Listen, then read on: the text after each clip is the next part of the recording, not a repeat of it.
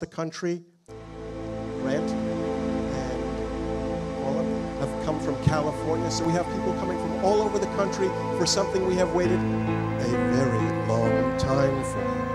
I noticed your landmark dates. It's been 10 years. But again, welcome everybody. We are so thankful, that, so grateful that you're here to celebrate this terrific occasion. And saying again, it's been a long time coming. Thankful for the distances. Welcome everyone. Enjoy yourselves.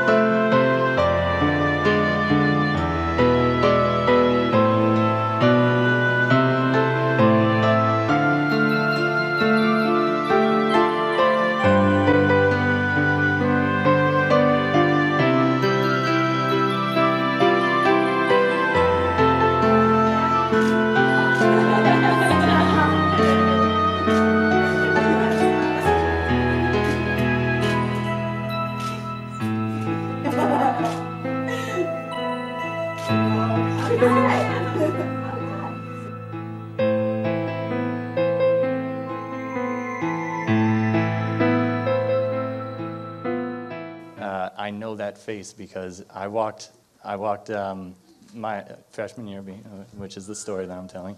Um, I was walking down, I was walking past our mail room at Fairfield, and which is filled with, it's like a, it's a building filled with our cafeteria. So there, it's pretty much like a hallway, and I'm walking down with like a straight face because that's that's what I hide under, and I'm just like, I'm walking down, and and I hear a hi, and out of nowhere, I'm just like, who? I, like I didn't have friends at that point, but I'm like, who is saying hi? That that that welcoming to me, and it was Corie, and so that that was one thing. That's a that's a big thing. That was that was something that I want to get across. Um, uh, I do have a bunch of cheesy jokes lined up. so I should save them? okay. All right, I think I've gone over, but. um, um, so, yeah, I guess if. Do we raise a glass for this, or. yeah, if we could raise a glass. Here's to Remy and Corie. Congratulations. Hey guys. Um, so, unlike Derek, I wrote it out because I cannot wing things because I will ramble as well. So, I have a nice little speech here. I love you, Derek. We're best friends, it's fine. All right, so I have it written out. So, hi everyone. Again, thank you all for being here tonight to celebrate the newlyweds. For those of you who don't know me, um, and I haven't had the pleasure of meeting yet, I'm Corie's best friend and maid of honor, Tracy. Um, I just want to take a moment before I dive in to thank uh, Lisa and John for hosting such a beautiful event. Look at this place, it's amazing, so thank you. It's a round of applause. I'm shaking so much I can't read my words, so let's see. All right, so um, Lisa and John, they're truly a wonderful couple. I know this better than most because I've actually known Corie for roughly 23 years now, which seems to both make the most sense and seem absolutely impossible because it seems like just yesterday that we met as little babies in our Girl Scout troop. it was just fate that we would both move from New York to the same neighborhood in the same coastal Maine town. Uh, for the same as Tom. Even though we tried to convince people that we actually knew each other back in New York, we did not, and we actually didn't become inseparable until you moved out of that neighborhood, which would have made our countless sleepovers um, to watching Grease and Big Daddy and belting out the Backstreet Boys that much easier and frequent, but unfortunately it didn't happen. However, we did survive with enough sleepovers, and we grew up being each other's closest confidants and constant companions until college took us to different states. I went to Massachusetts, and Corie went off to Connecticut, where she met the love of her life a quick three weeks in. Apparently, it runs in the family.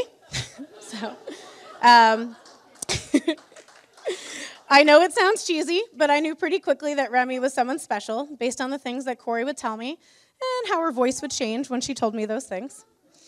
Um, the assumption was proven true when I visited her second semester of freshman year and finally got to meet him in person. He was so easygoing, made her laugh, and he was so nice that he even tried to tell me that I was good at bowling when we went. Trust me, I'm horrible. So I immediately liked him, even if he was just trying to make a good impression on the, on the childhood best friend. I mean, anyone that can put up with Corie's unique love for her puffies is a keeper in my eyes. Um, but in all seriousness, the spark between them, in all seriousness, the spark between them that I witnessed during that first time at Fairfield so long ago has only continued to grow and strengthen over the past decade.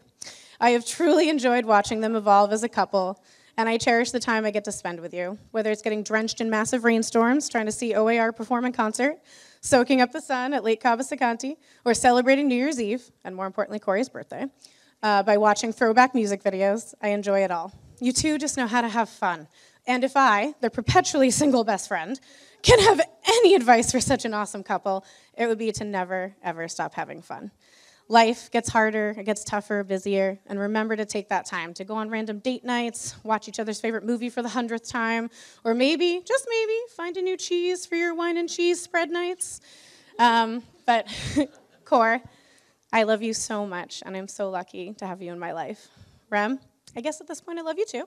Um, and know that there's no one else I'd rather share my best friend with. Um, I wish for this to be the first best day of your life. Sorry, I wish for this to be the first of many best days of your life, and for you two to continue having fun for the rest of forever. Now let's shut me up. Let's be honest, we've been waiting a long time, as John said, and let's keep this fantastic celebration going with a toast to the new Mr. and Mrs. Totten. Here's to Corie and Remy. Congratulations.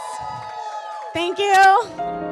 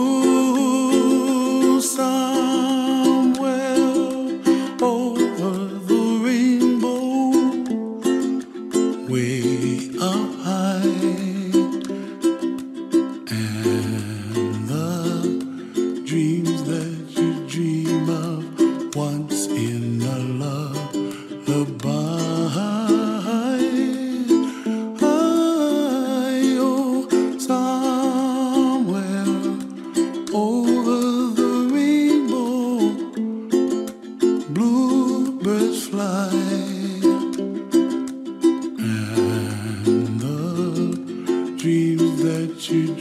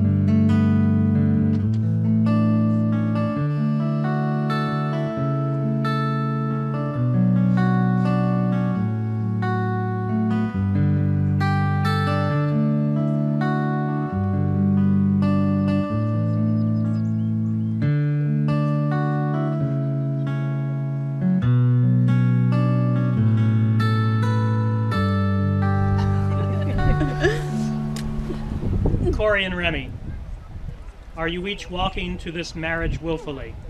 Yes. Yes. Do you promise to be true to each other without conditions? Yes. Will all of you witnessing these promises do all in your power to uphold and support Corie and Remy in their marriage? Yes. Yes. cool. Remy, do you take Corie to be your friend and wife? I do. Do you vow to be hers in times of sickness and in health, in times of joy and in times of sorrow? I do. Will you continue to respect and cherish her uniqueness? I, I will. Do you promise to care and protect her, to comfort and encourage her, and to stay with her all the days of your lives? I do. Corie, do you take Remy to be your friend and husband? I do. Do you vow to be his in times of sickness and in times of health, in times of joy and in times of sorrow? I do. Will you continue to respect and cherish his uniqueness? I will. Do you promise to care and protect him, to comfort and encourage him, and to stay with him all the days of your life? I do. Now the rings. Abby.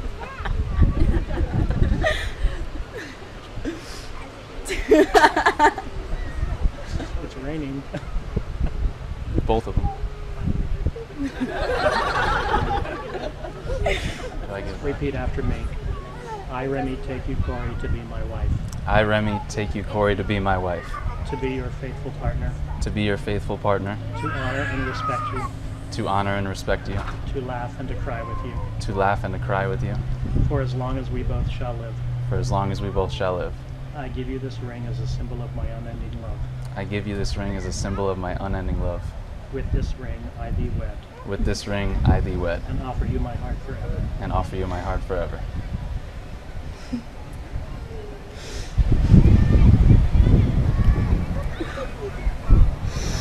Corie, repeat after me.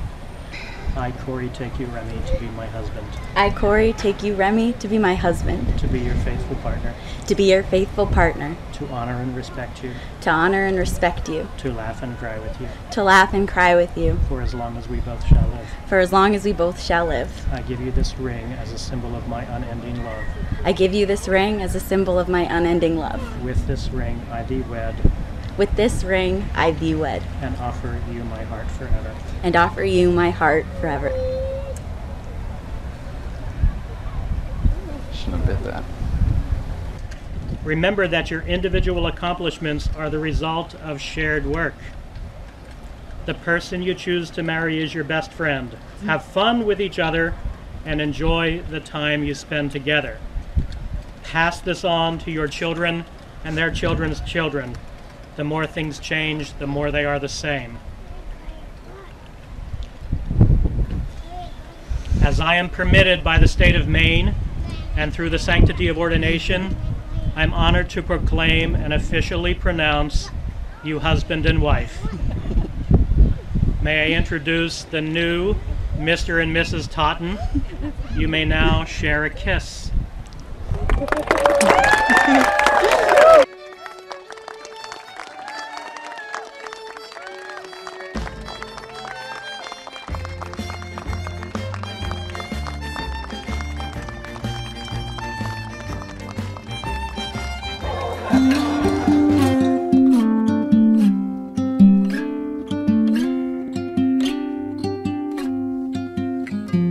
Combination of words I could put on the back of a postcard. No song that I could sing, but I can try for your heart. And our dreams, and they are made out of real things, like a shoebox of photographs with sepia tone loving. Love is the answer, at least, for most of the questions in my heart. Like, why are we here and where do we go? And come it's so hard? It's not always easy, and sometimes life can be deceiving. I'll tell you one thing, it's always better when we're together. Mm, it's always better when we're together. Yeah, we'll look at them stars when we're together.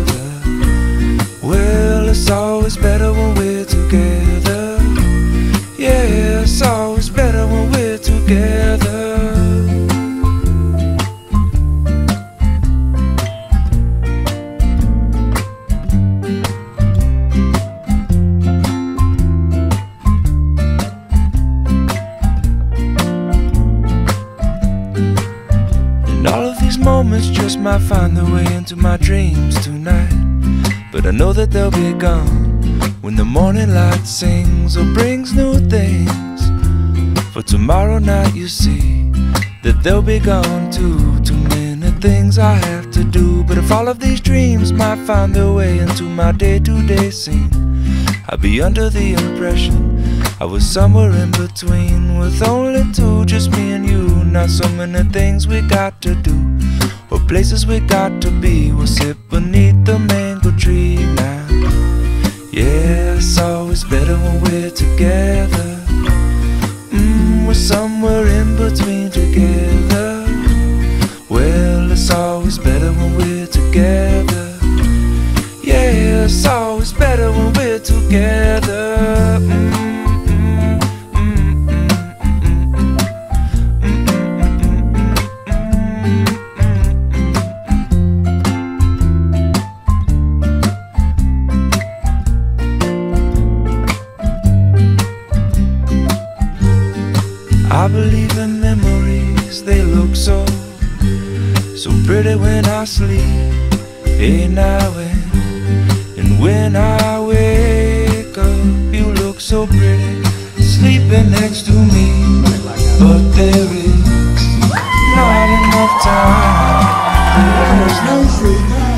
Song I could sing, and there is no combination of words I could say, but I will still tell you one thing: we're better together.